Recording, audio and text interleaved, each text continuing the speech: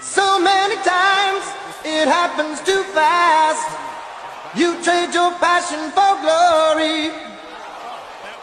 Don't lose your grip on the dreams of the past. You must fight.